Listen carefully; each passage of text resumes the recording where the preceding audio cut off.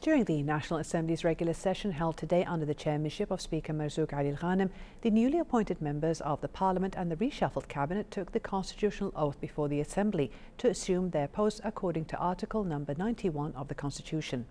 The cabinet members who took the oath were the Deputy Premier and Minister of Commerce and Industry, Dr. Abdul Muhsin Midij, the Minister of Education and Minister of Higher Education, Ahmed Abdul Muhsin Mlefi, the Minister of Health, Dr. Ali Al the Minister of Justice and Minister of Awqaf and Islamic Affairs, Naif Al Ajmi, the Minister of Social Affairs and Labour and Minister of State for Planning and Development Affairs, Hind Al Sabih, and the Minister of State for Plan for Housing Affairs, Yasser Abul.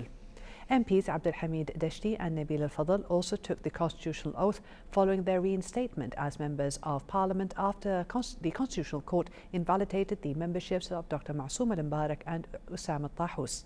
Meanwhile, the National Assembly elected and named a number of MPs to serve in parliamentary committees. Dr. Abdul Hamid Dashti was unanimously elected as member of the Legislative and Legal Affairs Committee, MPs Nabil Al-Fadl and Muhammad Tana as members of the Public Facilities Committee, and MP Abdullah Treji was elected for the Budget and Final Accounts Committee. Furthermore, the Parliament elected Hamad Al-Harshani as member of the committee tasked with suspicious huge assets, while MPs Dr. Abdul Hamid and Nabil Al-Fadl were unanimously elected as members of the committee charged with preparing response to the Amiri speech.